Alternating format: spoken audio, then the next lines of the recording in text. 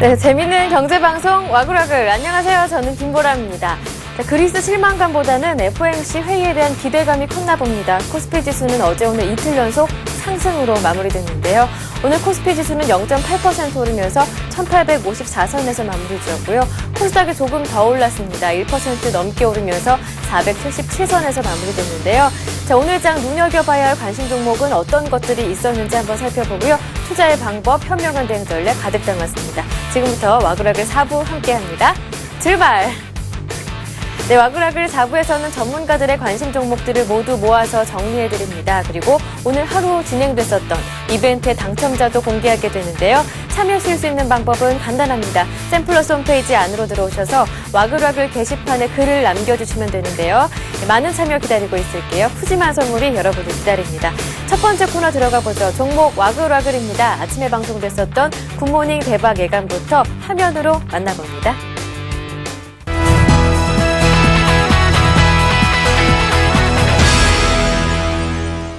현대 기아차에서 가장 많은 뭐 지분을 갖고 있고요. 현대차 계열입니다. 현대 기아차 향 납품 범위 확대로 성장 가능성이 상당히 높은 업체입니다. 어, 해외 완성차 부품 업체 설비 확장 시 어, 터키 수주 가능성이 가장 높은 어, 기업인데요. 여기서 터키라는 것은 어, 열쇠를 돌리면 바로 이제 작동을 한다는 그런 의미인데요. 어, 이 모든 것을 이제 부품을 하나하나씩 제공하는 것이 아니라 어, 갖다 주기만 하면 바로 쓸 수 있는 완성된 그런 어, 모든 설비가 가동되는 상태로 인도한다는 그런 뜻을 얘기를 하고 있습니다. 아, 이런 것들은 부품업체로서 상당히 좀 어려웠는데요. 어, 현대위아는 그러한 기술력을 갖고 있고 현재 그렇게 시행을 하고 있기 때문에 어, 중국 자동차 확대 추진 예상에 따른 수혜 기대가 상당히 되고 있습니다. 어, 대규모의 설비 증설을 꾀하는 중국 자동차 업체들은 가장 매력적인 설비 공급 업체 중에 하나가 현대위아인데요.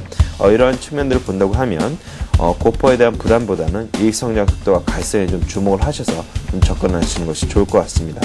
어, 최근에 기관들의 매수도 상당히 좀 좋게 흐름이 나타나고 있는데 한번 차트로 한번 보시겠습니다. 어, 8월달 이후부터 기관들이 9월달까지 거의 하루도 빼지 않고 계속해서 매수를 하는 모습을 보이고 있는데요. 예. 최근 한 증권사는 아, 목표가 24만 원까지 제시를 하면서 강력 매수를 권하기도 했습니다.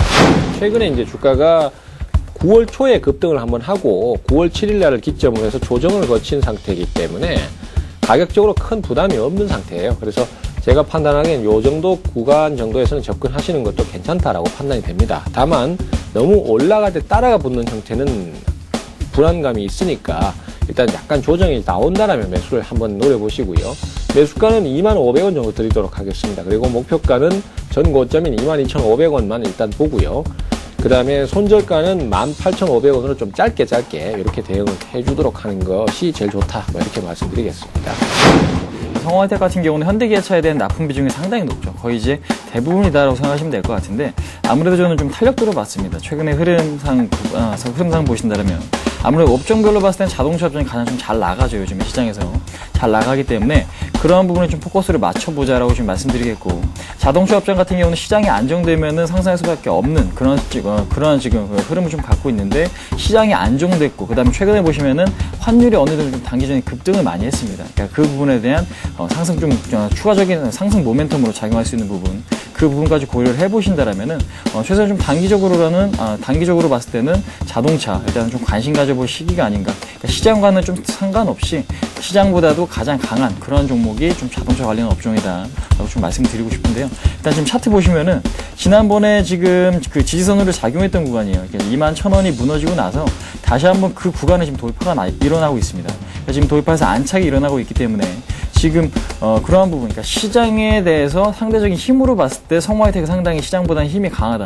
상승 시에는 더 많이 상승을 하고 조정 시에는 좀 덜 떨어지고 그런 흐름이 유지가 되고 있다라고 지금 보실 수가 있을 것 같고요. 그다음 외국인의 지분 증가, 그러니까 올해보다 지금 올해 초죠. 올해 초보다 지금 현재까지 한 지분이 외국인들이 한 7%가량 증가된 거 확인하실 수가 있는데 지속적인 매입에 대해서 상당히 좀 긍정적인 요인이다. 어, 말씀드려보도록 하겠습니다. TFT LCD 그리고 LED 어, TV 핵심 부품인 백라이트 유닛을 어, 제조한 업체라고 보시면 될 것 같습니다. 그래서 어, 삼성전자 핵심 BLU 공급 업체로서 상당히 조금 경쟁력이 있고요. 그래서 삼성전자의 어떤 그 주가 영향, 그 실적 영향을 좀 받기 때문에 조금 전체적인 업황이라든지 실적 부분을 봤을 땐 어, 삼성전자를 조금 참고하시는 게 좋을 것 같습니다. 하지만 조금 전에 말씀을 드렸듯이 어쨌든 차트 관심주, 차트 관심주기 때문에 차트를 보면서 조금 말씀 한번 드려보도록 하겠습니다. 자, 한솔 테크닉스의 최근 뭐 주가 동향에 대해서 단기적인 주가 동향에 대해서 한번 말씀드려본다면 단기적으로 봤을 때 21선이 계속해서 저항으로 작용 했던 종목입니다. 지금 현재 화면을 보시면은 세 군데 보시면 아시겠지만 21선이 계속 저항을 작용을 했습니다. 근데 하지만 어제 같은 경우에 이렇게 거래량이 유발이 되면서 동반적으로 어, 단기 이평선인 5일선과 21선을 동반적으로 이렇게 돌파해 주는 것을 확인할 수 있습니다. 그래서 오늘 쪽에서 조금 21선을 다시 한번 확인을 하면서 조금 다시 한번 상승폭을 확대하지 않겠나 좀 그렇게 생각을 하고 있기 때문에 가지고 나왔다고 이유를 한번 말씀드려 보도록 하겠습니다. 네, 이렇게 굿모닝 대박 예감의 VCR을 먼저 만나봤는데요. 이 종목들의 대응 전략 화면으로 다시 한번 정리해드립니다. 화면 확인하시죠. 네, 먼저 교보증권 오기철 차장은 자동차 부품주죠. 현대 위아 들고 오셨습니다. 현대차, 기아차로의 납품 범위가 확대되고 있기 때문에 성장 가능성 매우 높다 이렇게 소개하셨죠. 목표가는 19만 원으로 설정하셨고요. 샘플러스 최병곤 전문위원 SK컴즈 들고 오셨습니다. 기관 매수 견조하고요. 기존 추세 양호합니다. 조정이 조금 나왔을 때 매수해 보신다면 매수가는 한 2만 500원 정도, 목표가는 2만 2,500원 정도가 적정하겠고요. 라이징 스탁의 홍희진 팀장, 성우하이텍 들고 오셨습니다. 역시 부품주인데요. 자동차 업황 호조가 이어진다는 점 긍정적이고요. 환율 상승이라는 단기 호재도 발생한 상황입니다. 목표가는 2만 3천 원으로 설정하셨고요. 우리투자증권 정태근 전문가 오늘 하루 단기 종목으로 한솔 테크닉스 들고 오셨는데요. 목표가는 25,800원으로 설정하셨습니다. 동부증권 김근호 대리도 새 종목을 들고 나오셨는데요. 최근 환율 상승이 수출, 수출 경쟁력이 강화되는 것으로 보이는 이 전자와 그리고 자동차 업계 호재가 되고 있습니다. 각각 한 종목씩 들고 오셨죠. 삼성 SDI 들고 오셨고요. 기아차 들고 오셨습니다. 삼성 SDI 목표가는 13만 5천 원, 기아차는 8만 원으로 설정하셨고요. 대우 인터내셔널도 소개하셨는데요. 원자재 가격 상승세가 지속되면서 대우 인터내셔널의 이익 상승세도 지속되고 있습니다. 목표가는 3만 7천 원으로 설정하셨네요. 네, 이어서 전문가들의 포트폴리오도 한번 만나볼게요. 먼저 최병권 전문위원의 포트폴리오인데요. 변동 내용이 조금 있습니다. 카프로와 STX, 페노션, 현대 글로비스, SK컴즈는 꾸준하게 보유하시는 종목이고요. SM을 다시 매도하셨습니다. 대신 한국 항공 우주를 편입하셨는데요. 이 종목 관심 있는 분들은 대응 전략 꼼꼼하게 체크해 보시길 바랍니다. 자, 다음은 정영훈 전문가입니다. 두 종목이 담겨 있죠. 삼성 중공업, LG전자. LG전자를 새롭게 편입하신 종목인데요. 이 종목 관심 있는 분들은 역시 대응 전략 꼼꼼하게 챙겨 보시길 바라고요. 다음 만나볼 전문가는 최희용 전문가의 포트폴리오입니다. 로엔과 하나투어 두 종목을 새롭게 편입하시면서 포트폴리오를 꾸려주셨는데요. 이 두 종목에 대한 대응 전략 체크해 보시고요. 다음은 박성일 전문가입니다. 롯데 미도파와 셀트리온을 꾸준하게 보유 중이신데요. 전략 또한 그대로입니다. 다음은 신은경 전문가입니다. 인피니트 헬스케어 나이백은 꾸준하게 보유 중이신 종목이고요. 두 종목을 새롭게 편입하셨습니다. 씨젠과 국보 디자인인데요. 두 종목에 대한 대응 전략 꼼꼼하게 챙겨보시고요. 인피니트 헬스케어 나이백 마찬가지로 살펴보시길 바랍니다.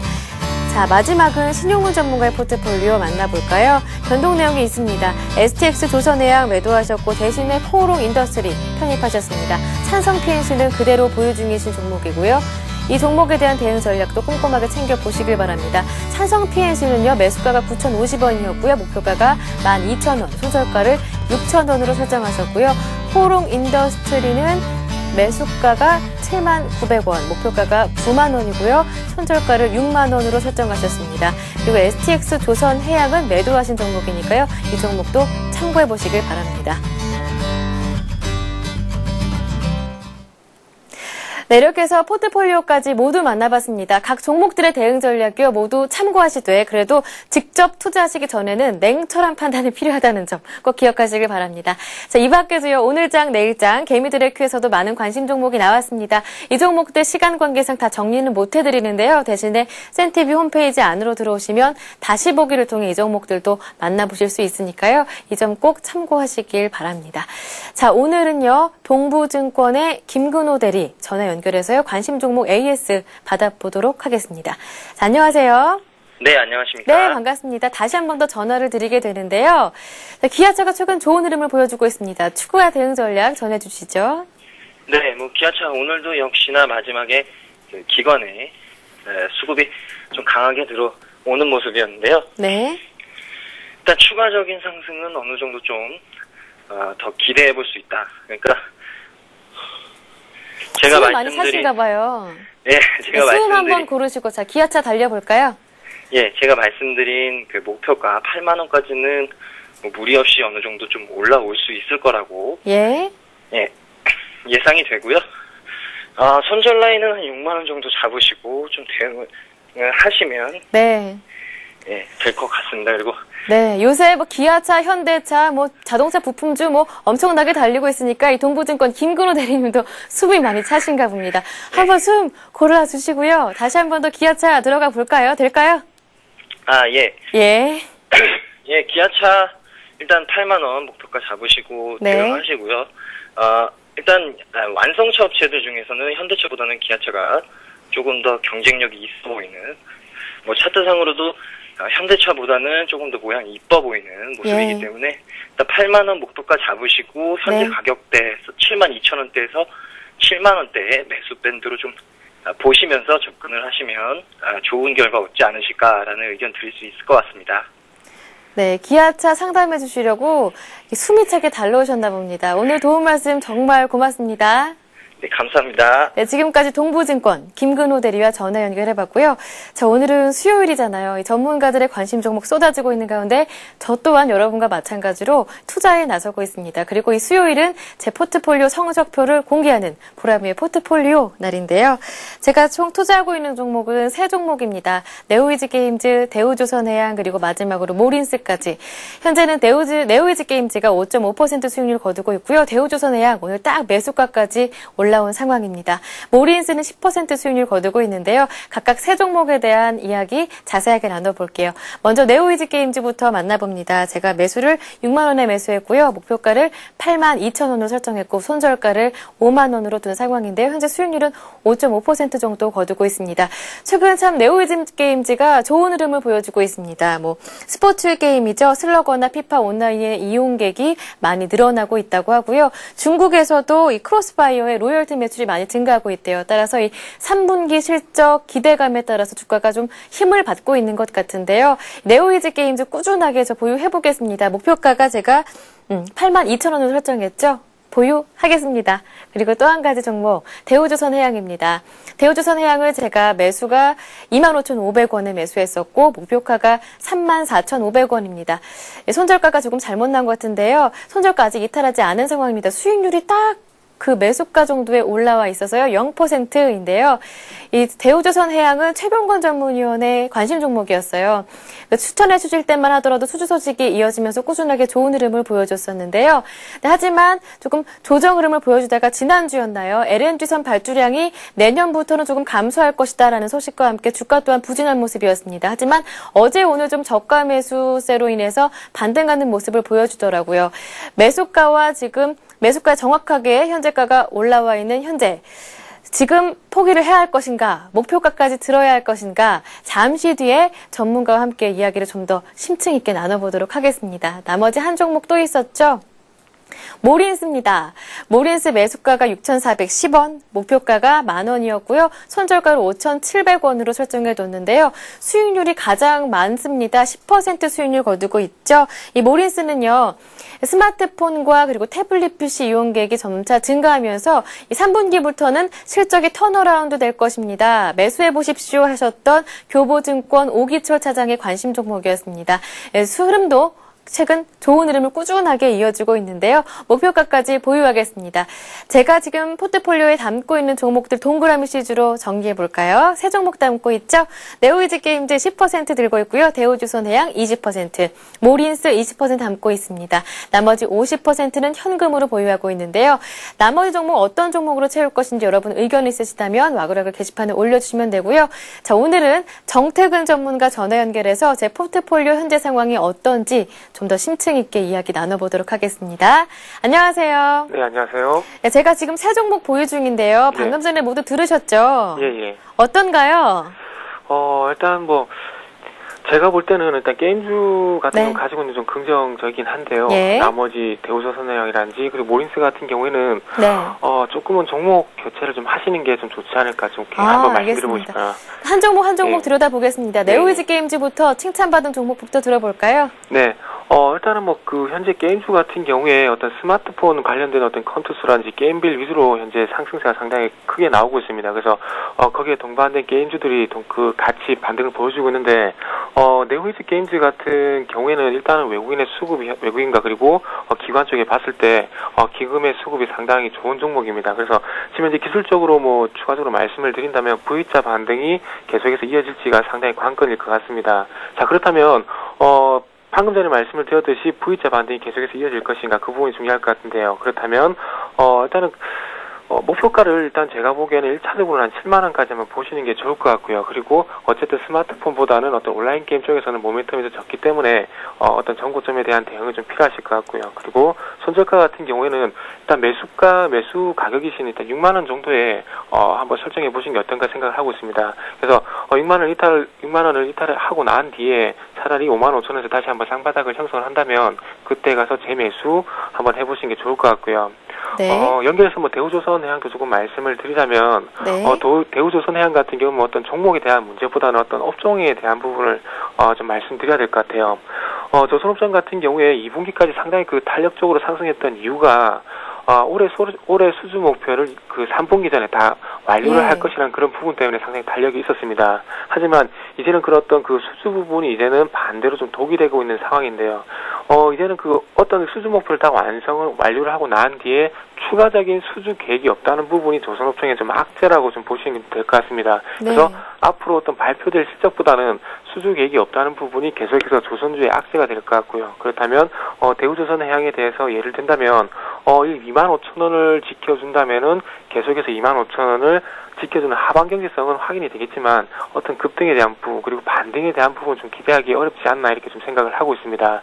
그래서 어, 저 같은 경우 대우조선해양 같은 경우 좀 종목 교체를 하셔가지고 어, 나머지 조금 IT라든지 그리고 건설 쪽으로 좀 옮겨 보시는 게 어떨까 그렇게 좀 생각을 하고 있고요. 네. 어, 마지막으로 모린스 같은 경우에 어, 어떤 그 태블릿 PC에 관한 그런 수혜가 좀 상당히 큰 종목이라고 듣고 있습니다. 그래서 터치 스크린 관련주라는 부분을 잘 알고 계실 건데 어, 터치 그 모린스 같은 경우 조금 맹점이라고 해야 될지 아니면 강점이라 해야 될지 모르겠지만 어, 주요 매출이 삼성전자에 너무나 집중이 돼 있다는 부분이 조금 강점이 강점도 될 수 있고 어떻게 본다면 맹점도 될 수가 있는데요.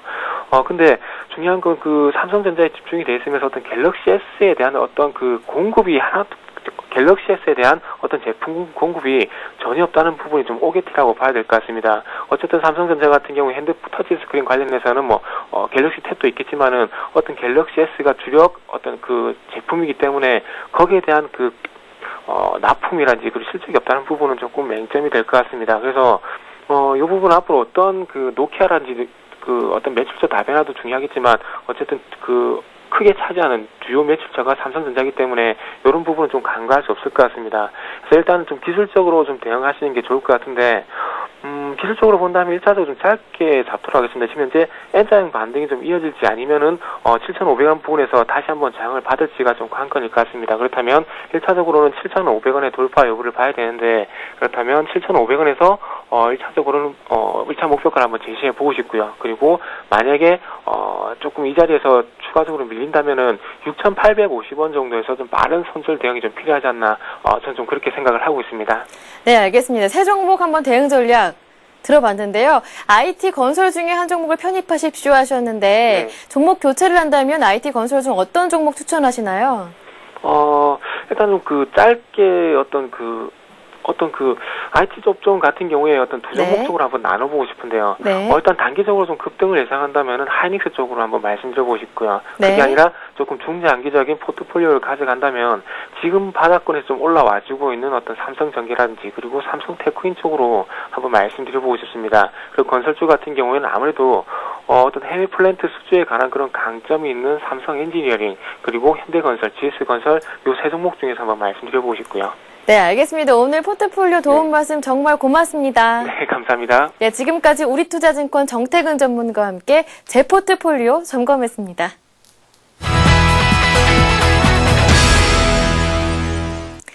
자, 이제 신나는 음악과 함께 하겠죠. 음악 주세요. 네, 오늘 고희의 귀님께서 놀러 오셨습니다. 반가웠습니다. 그리고 필명 마이걸님께서는 사연을 남겨주셨네요. 심심할 새 없이 오르막길 내리막길을 달리는 주가 때문에 하루 종일 정신이 없습니다.